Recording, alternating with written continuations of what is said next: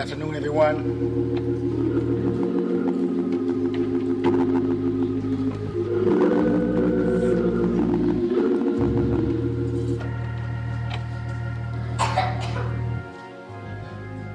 The word says that those that the Lord has set free, you're free indeed.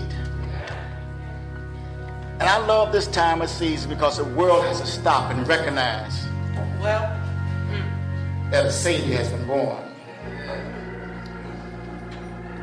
But even more than that, I, I, I really like when the disciples asked Jesus, Lord, teach us how to pray. And he didn't say, pray our cosmos. He didn't say, pray uh, to the man upstairs.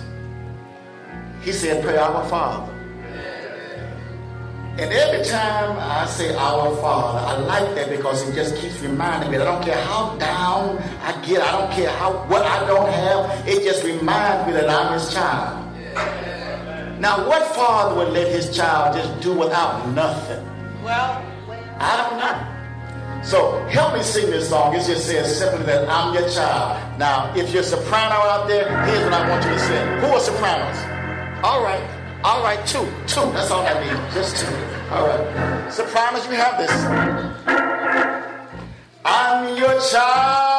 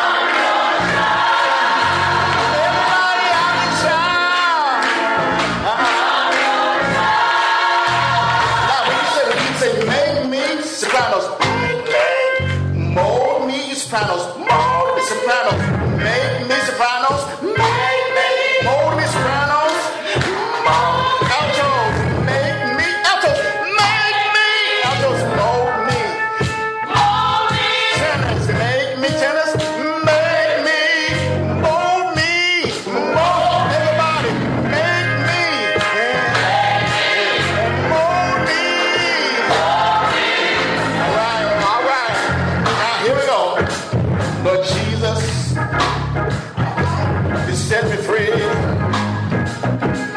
From the bottom of my heart, I'm so glad